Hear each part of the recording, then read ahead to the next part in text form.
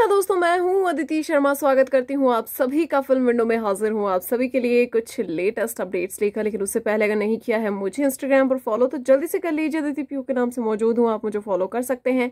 तो लो जी big boss के घर के अंदर आखिरकार आवागमन शुरू हो गया है गेस्ट का और ग्रैंड फिनाले का शूट जो है वो शुरू हो चुका है। आप सभी को बता दूँ कि जो गेस्ट हैं वो अपना अपना शूट निपटा कर जा रहे हैं। लेकिन बात करेंगे यहाँ पर कंटेस्टेंट्स की फैमिली की तो कौन कौन पहुँचा है? अभी तक हमने शमिता शेट्टी की मॉम को देखा और उसके अलावा हमने देखा कि करण कुंद्रा की मदर, जी हाँ करण कुंद्रा की मदर जो है वो पहुँच चुकी हैं बिग बॉस 15 के ग्रैंड फिनाले सेट पर।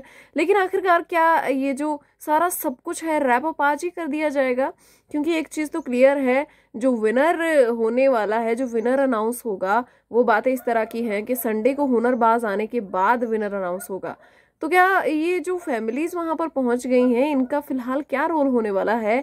अभी समझ नहीं आ रहा, क्या ये उस शूट में उतनी देर शामिल रहेंगे?